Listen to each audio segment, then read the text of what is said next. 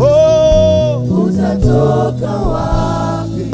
msaada wangu ukatika wewe Bwana wa majeshi, usiyeacha Bwana. Haleluya, chini chini ya msalama wako. Nitayainua macho yangu nitazame milima,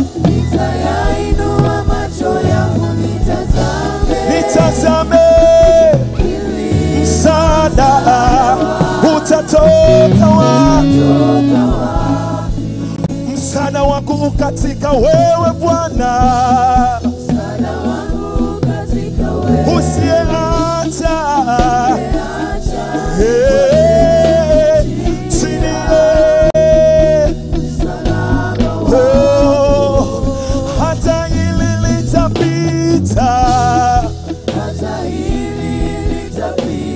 litapita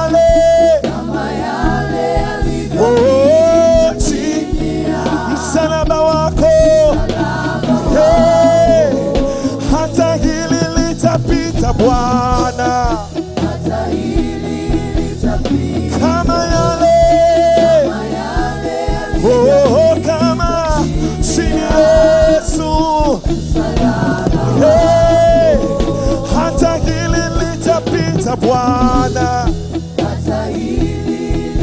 Kama yale kama yale yalivyo Hey, yeah, chini msalaba wako.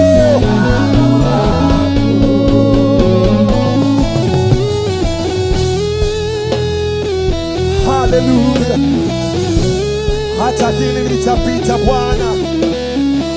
Kama yale alivyopita Jehova, chini ya msalaba wako, chini ya msalaba wako, chini ya msalaba wako Yawe, kwenye msalaba wako kuna majibu ya ukweli. Yawe, Yawe,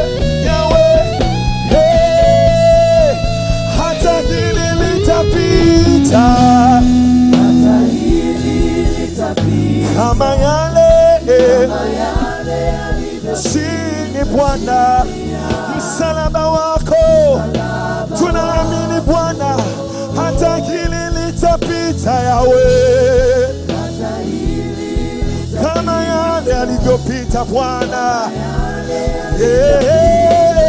Sini Yesu. Bwana, ndivyo imani zetu zinavyotuambia hata hili litapita Baba, hata hili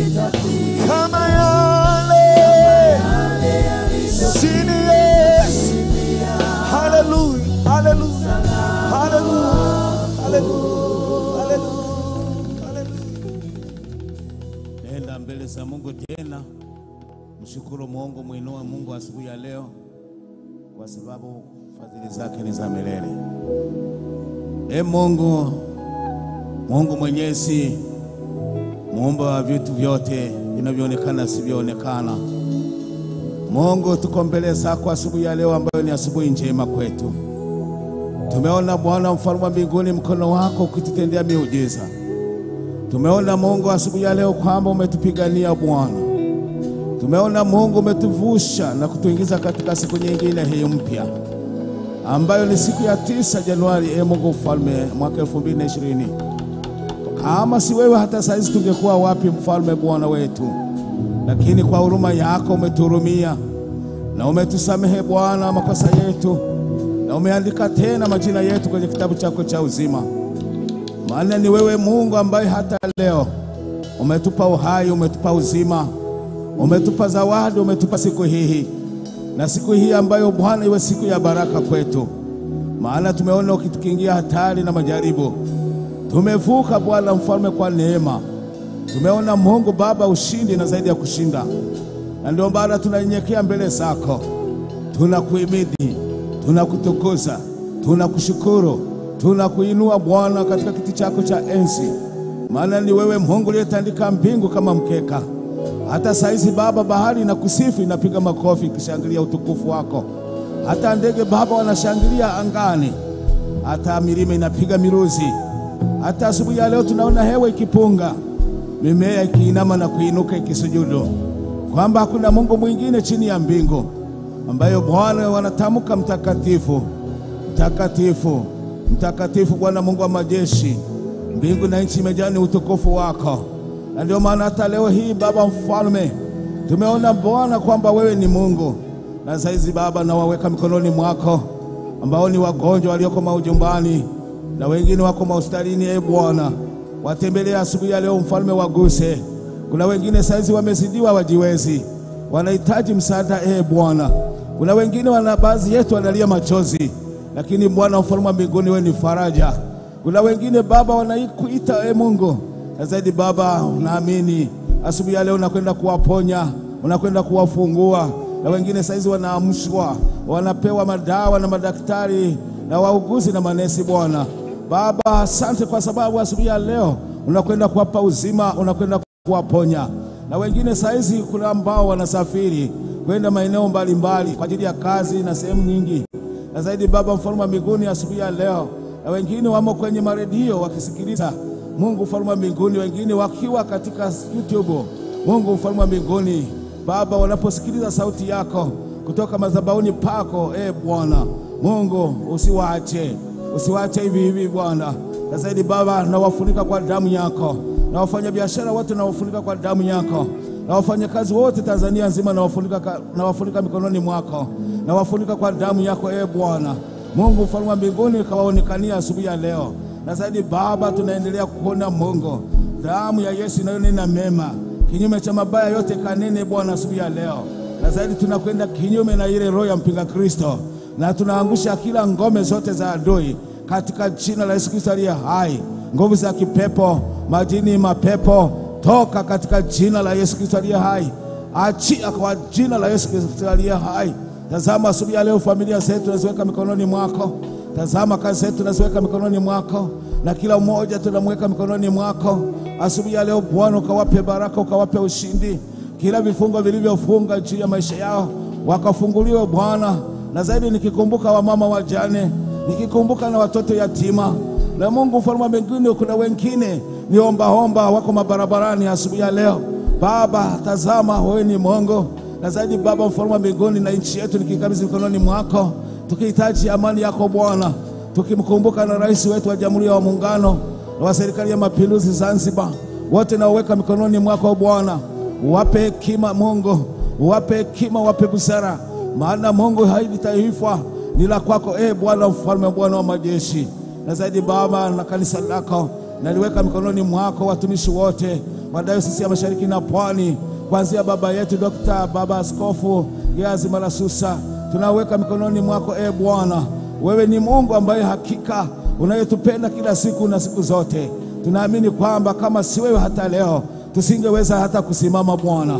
Baba, na mtumishi wako Goodluck Kimushi ninamweka mikononi mwako asubuhi ya leo e Bwana, ni chombo chako kiteule. Asubuhi ya leo unakwenda kukitumia Bwana, Roho yako Mtakatifu ukampake mafuta yako Bwana, na zaidi Mungu tutembelee, na zaidi tunapokwenda kusikia ujumbe asubuhi ya leo na ujumbe huu ukatuponye ndani ya nchi na ndani ya nchi na nje ya nchi ambao wanakwenda kusikiliza. Baba mfalme wa mbinguni, ambao wana shida mbalimbali, mateso na aza na kila namna ya dunia hii, maana Mungu ulisema kwamba tujipe moyo, maana wewe umeushinda ulimwengu. Asante Baba, hata kwa ajili ya mchungaji wetu Daktari Leona Kimaro, tunashukuru hata wazee wa kanisa, tunashukuru moja mmoja wote walioingia, na wengine wako barabarani wanakimbilia ibada hii. Baba, ponya mioyo hiyo, ponya mahali hapa, ponya ibada hii, ponya kila mmoja, ponya na watoto wanaoenda shule asubuhi ya leo, wadogo kwa wakubwa, pamoja na walimu, na ponya katika damu Yesu Kristo aliye hai, damu ya ukombozi ikakomboe, damu ya thamani ikakomboe kila ndoa, e Bwana. Na zaidi Baba, tunasema asante, hatuna cha kusema, bali tunakushukuru. Utukufu na heshima yote tunakurudishia wewe, ambaye wewe ni Bwana, ambaye Mungu uko pamoja nasi na zaidi Baba, nikikumbuka hata press team, nikikumbuka hata vyombo vyote vinavyorusha ibada hii, ninaviweka mkononi mwako na watumishi wao wote, na tunapoanza ibada hii tuianze pamoja nawe, na tunapoimaliza Mungu Baba tumalize pamoja nawe. Ni katika jina la Baba na Mwana na Roho Mtakatifu, watu wa Mungu tuseme amen, tuseme amen na makofi kwa Yesu Kristo aliye hai. Tumshangilie Bwana kwa sababu yeye Mungu ni mwema kwetu, ni Mungu ambaye anatupenda. Asubuhi ya leo ametupa kibali maana bila yeye sisi hatutaweza kitu chochote.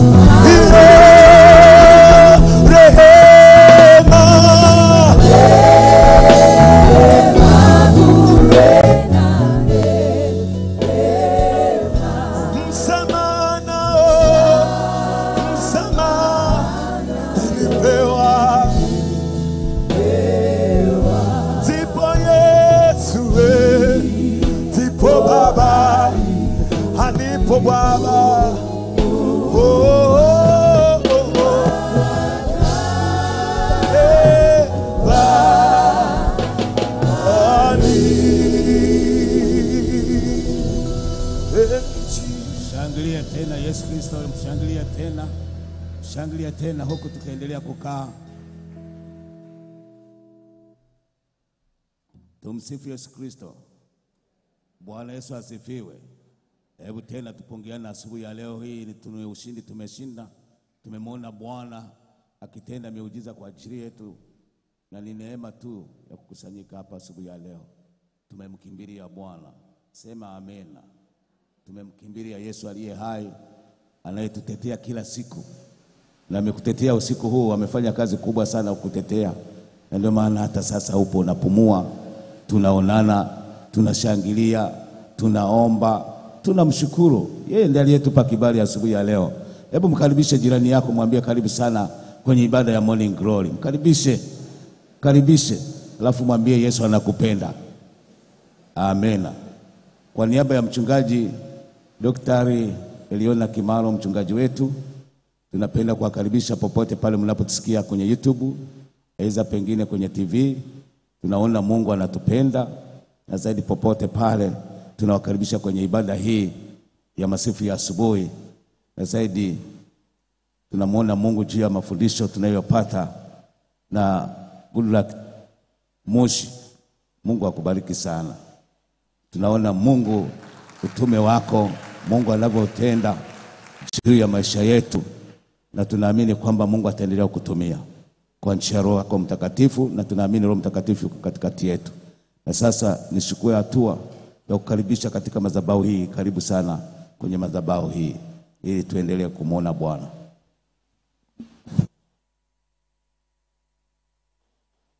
Piga makofi, pigie makofi mengi mengi. Shangilieni Bwana, mkaribishe kwa kumshangilia, kwa sababu Mungu ana ni mwema. Kanisa la Mungu, Bwana Yesu asifiwe. Haleluya. Tunaendelea kumshukuru sana Mungu kwa ajili ya upendo wake na neema yake katika maisha yetu, na niendelee kumshukuru Mungu kwa ajili ya uongozi wa usharika mwinjilisti kiongozi na watumishi wengine wote ambao naendelea kutumika mahali hapa, lakini kipekee nikimshukuru Mungu sana kwa ajili ya mchungaji kiongozi, mchungaji Dr. Eliona Kimaro kwa ajili ya neema hii ambayo Mungu amempa pamoja na timu hii yote kuhakikisha tunapata neema hii ya kusikia neno asubuhi na jioni. Mungu azidi kumbariki sana. Hebu mpigie Yesu makofi mengi kwa ajili yake. Kitabu cha Mambo ya Nyakati wa kwanza mlango wa nne mstari wa kumi. Mambo ya Nyakati wa kwanza mlango wa nne na mstari wa kumi. Huyo Yabes akamlingana Mungu wa Israeli akisema, lau kwamba ungenibarikia kweli kweli na kunizidishia hozi yangu, na mkono wako ungekuwa pamoja nami, nawe ungenilinda na uovu, ili usiwe kwa huzuni yangu. Naye Mungu akamjalia hayo aliyoyaomba. Kitabu cha Yohana Mtakatifu mlango wa nne mstari wa ishirini na tatu. Yohana Mtakatifu mlango wa nne na mstari wa ishirini na tatu.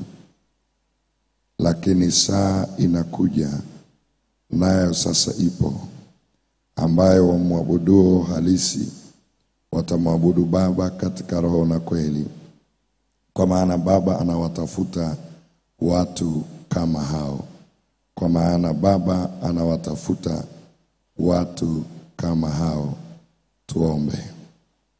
Mungu wetu, tunakushukuru, asante kwa uaminifu na upendo wako. Tunauliza damu yako ipate kunena mema na utuongoze katika madhabahu hii. Uwe pamoja nasi asubuhi ya leo kwa ajili ya utukufu wa jina lako, kwa jina la Mungu Baba na Mwana na Roho Mtakatifu. Kanisa tuseme amen. Pigie tena Yesu makofi asubuhi ya leo. Tumeendelea na maombi ambayo Mungu ametupa neema ya kuendelea kuomba mahali hapa, na kichwa kinachotuongoza katika maombi haya ni ajenda za maombi zitakazokusaidia kwenda kiwango ulichokusudiwa na Mungu katika msimu huu mpya, na tumeangalia juu ya maombi ya Yabes. Tumeangalia juu ya maombi ya Yabes na tukaona jinsi ambavyo mstari tunaosimamia wa Mambo ya Nyakati wa kwanza mlango wa nne mstari wa kumi, jinsi ambavyo Yabes alimlingana Bwana na akamlingana Bwana kwa mambo manne.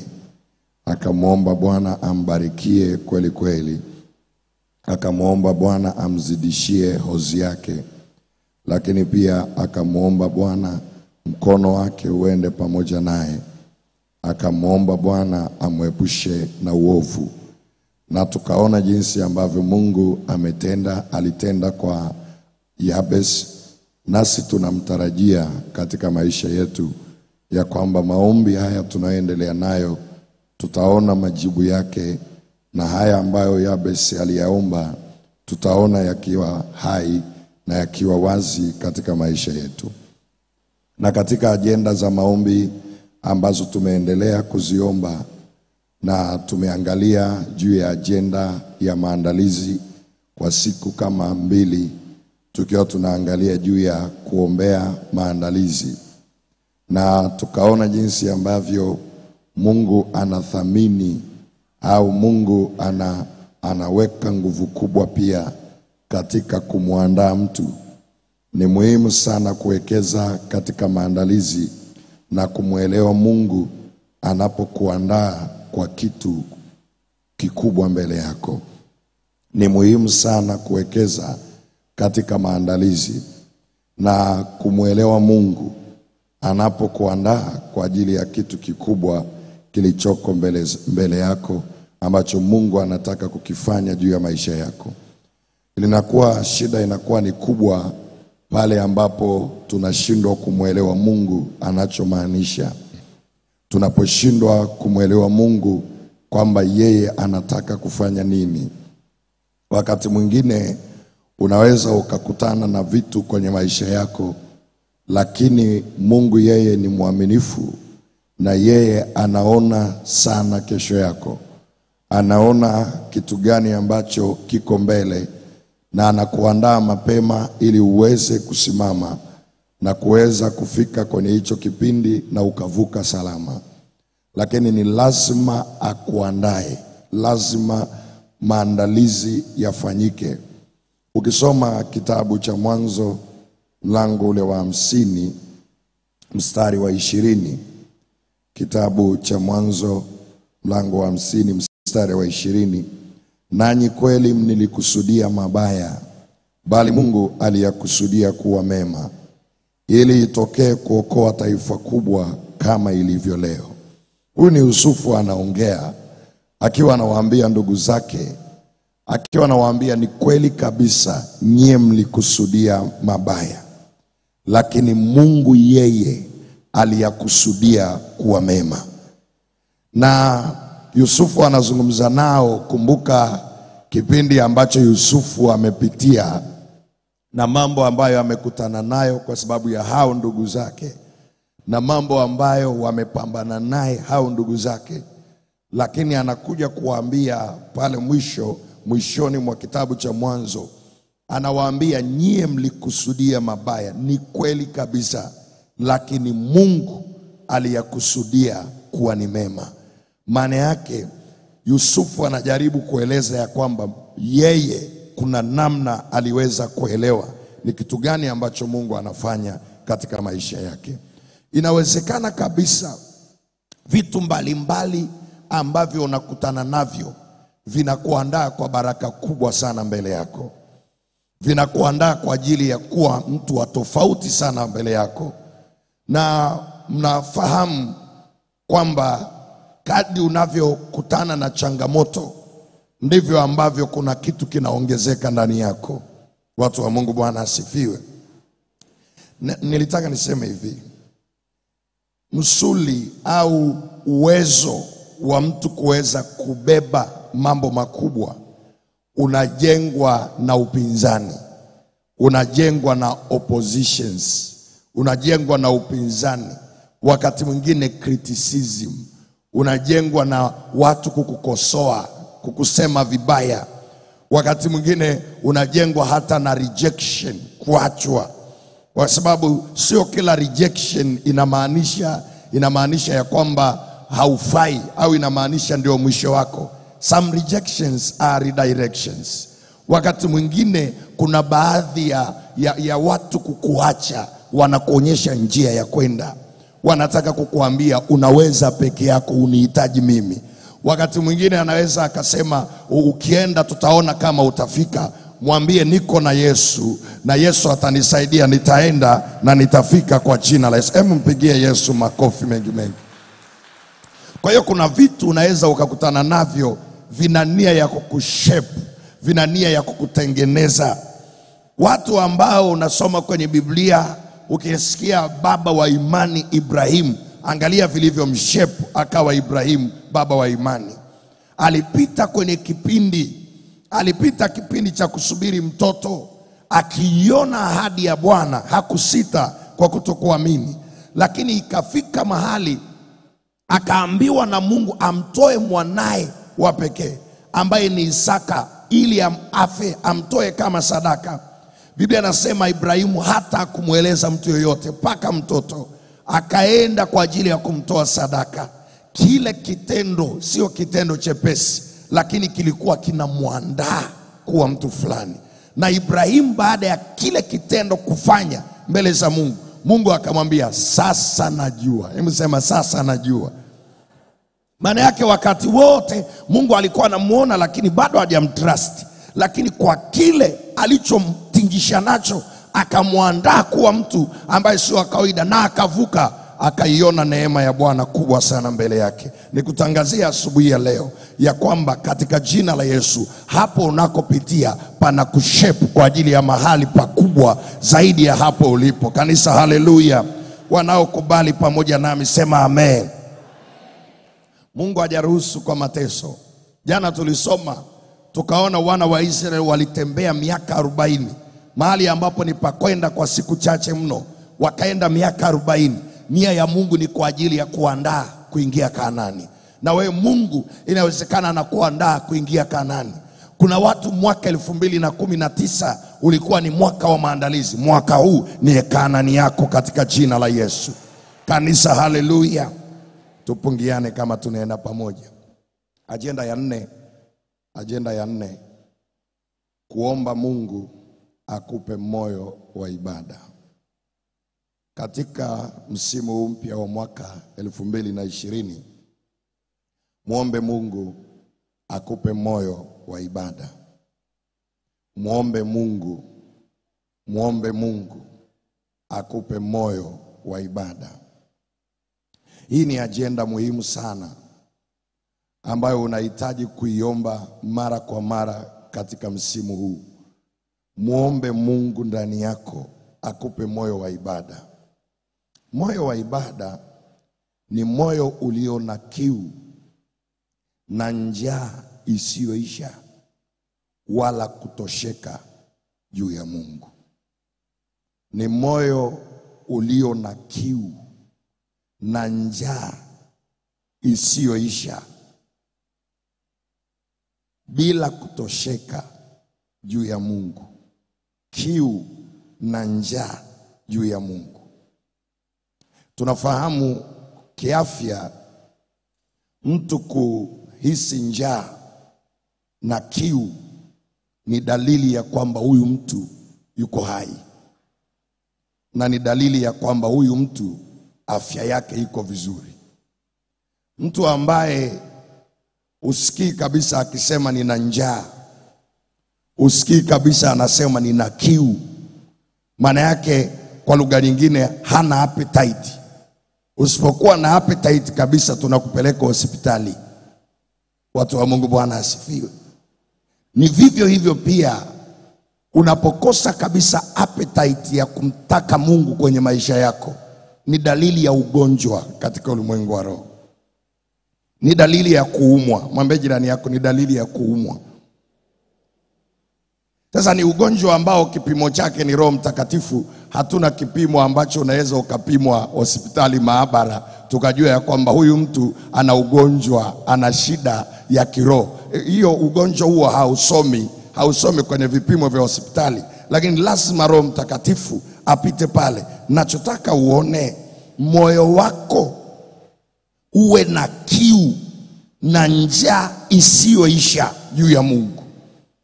Maana yake kila wakati unatamani sana uwe na Mungu katika maisha yako, kila wakati, kila saa, kila dakika, kila sekunde, hautamani utoke nje ya Mungu. Kama vile alivyo samaki kwenye maji, ndivyo ambavyo na wewe iwepo kiu ndani ya moyo wako ya kumtaka Mungu. Kanisa, Bwana asifiwe. Zaburi ya mia moja na tano mstari wa nne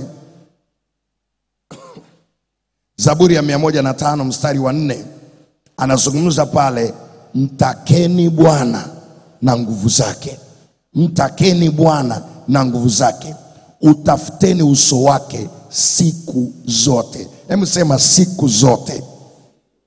Maana yake siku zote unamtaka Bwana na nguvu zake, na unautafuta uso wake, na unautafuta uso wake. Moyo wa ibada ndani ya mtu anasikia kiu na Mungu, anasikia anasikia njaa ambayo haiishi, akiwa anatamani leo amwone Mungu kuliko jana, akitamani leo asikie tena kuliko alivyosikia jana juu ya Mungu, anatamani kumwona, ana shauku ndani yake.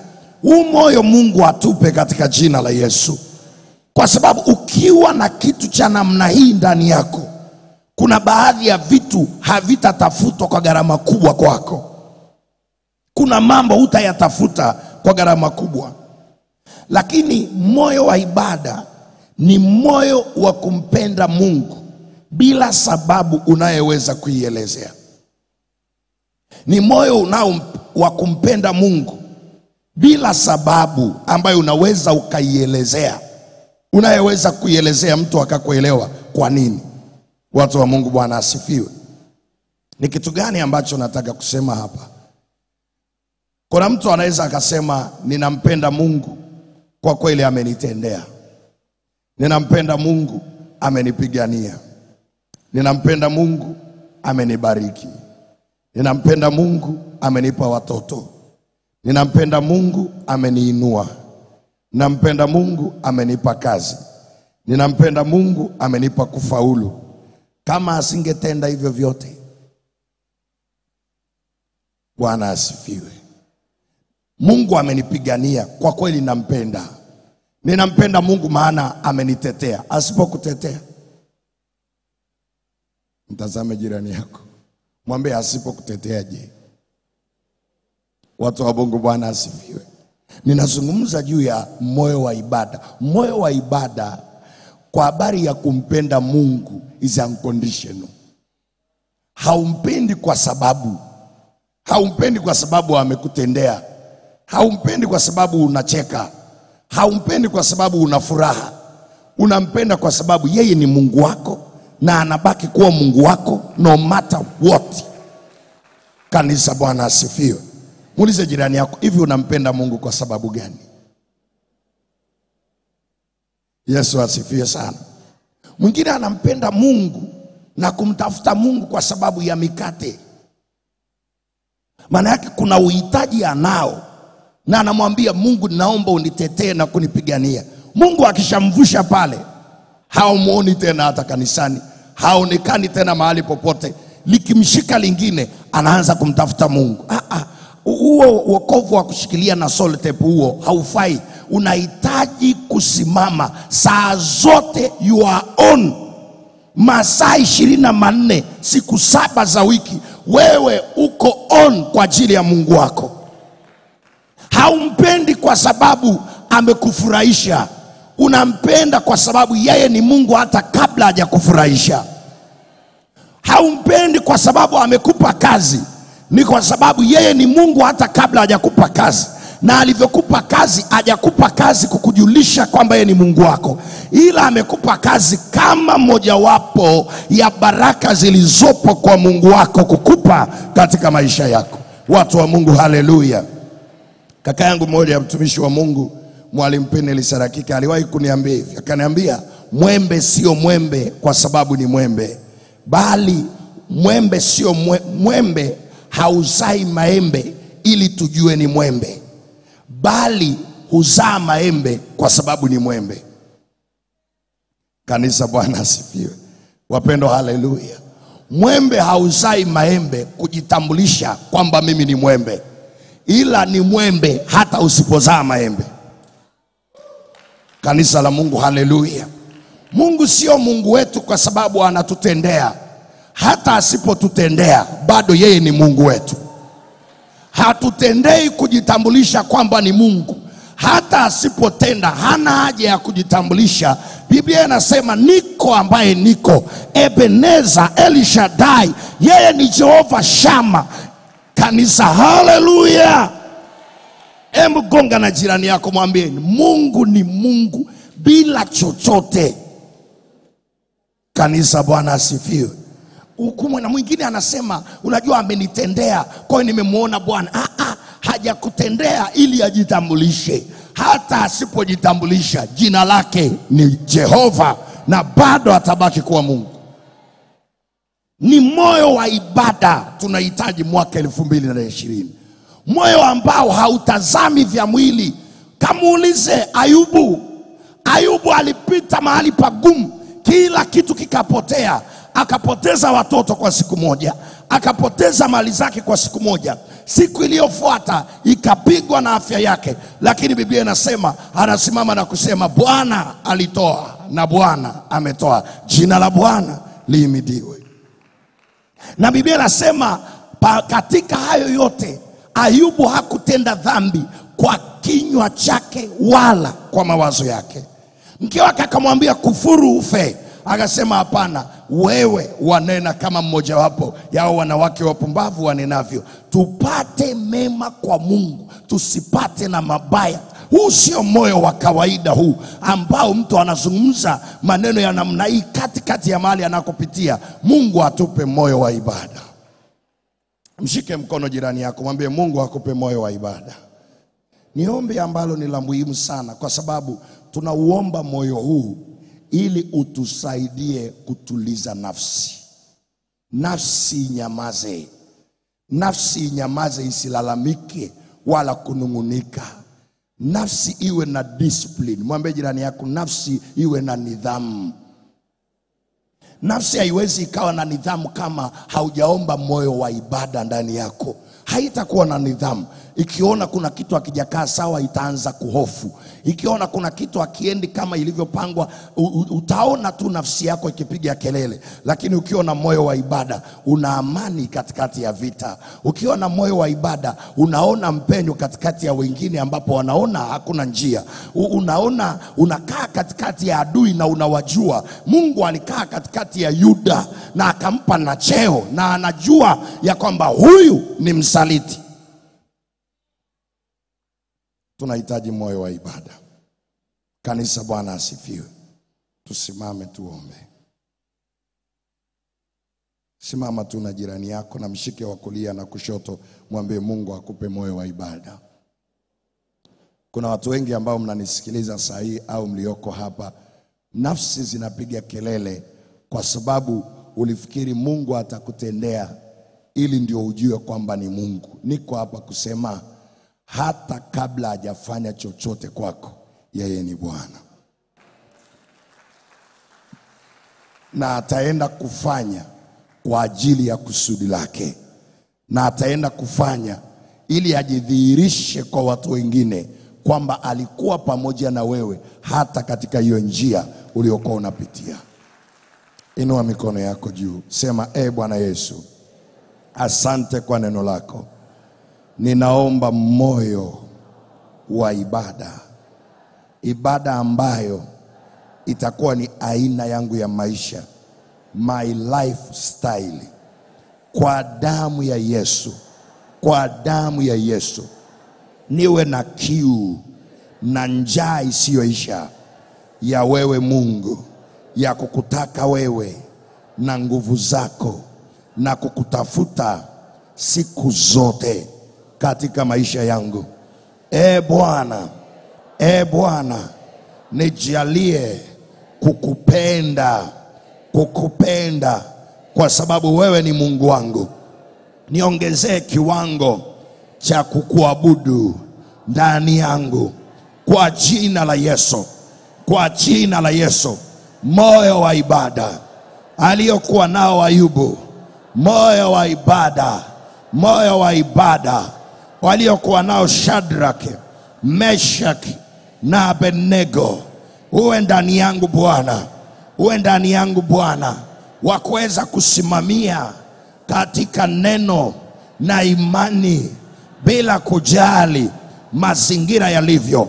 Kwa jina la yesu na kwa damu ya yesu embu sogea mbele za bwana mwambie mungu akupe moyo wa ibada wewe na familia yako Baba, katika jina la Yesu tunaendelea kusogea madhabahuni pako, tunaomba moyo wa ibada kwa ajili ya kanisa lako, kwa ajili ya watu wako walioko mahali mahali na watu wanaotufuatilia saa hii mahali popote walipo, kwa namna ambayo nafsi itanyamazishwa na mtoto wako atatembea akiwa na nidhamu kwenye nafsi yake na utulivu ambao sio wa kawaida maana atajua ya kwamba e Bwana, wewe ndiwe kila kitu katika maisha yake.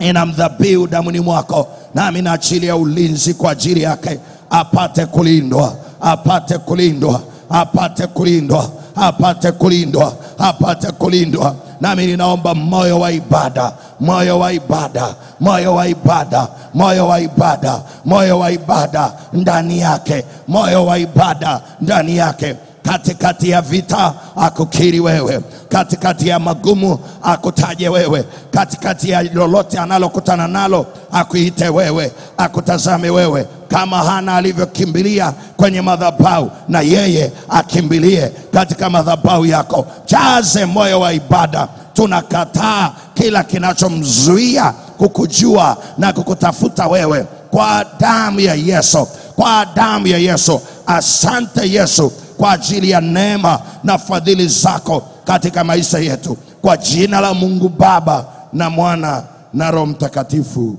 amen. Pe Yesu makofi mengi.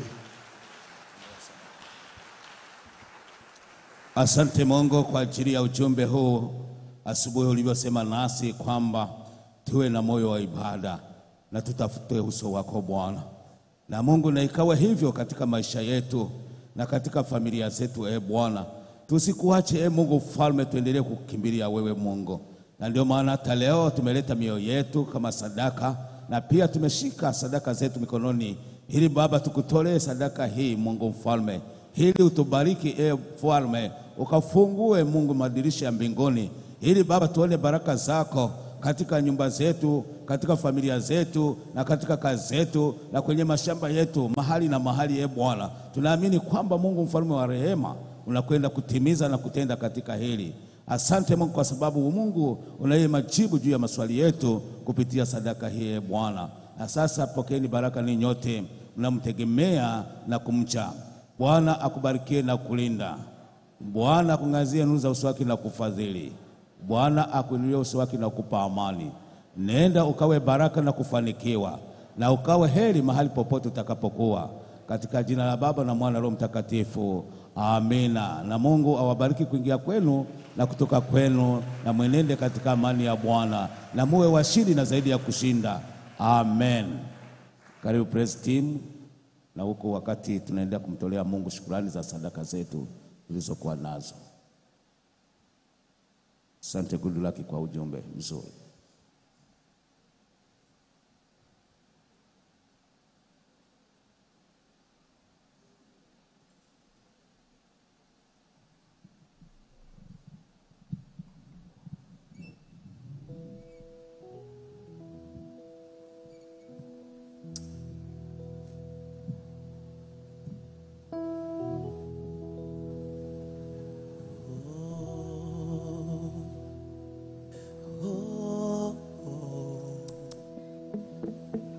Hakuna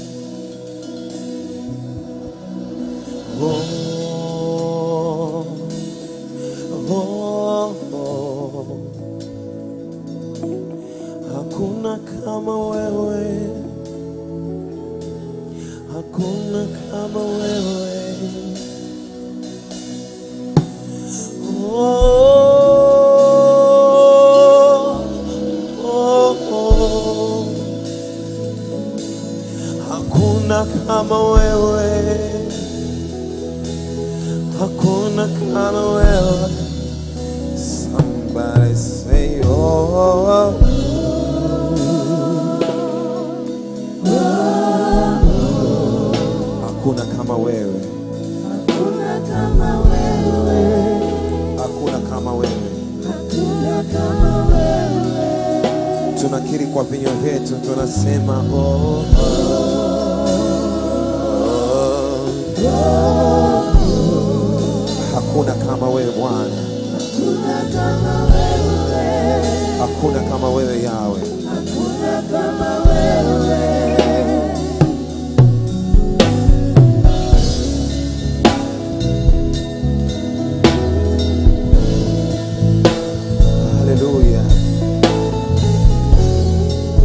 Hakuna aliye kama wewe Bwana.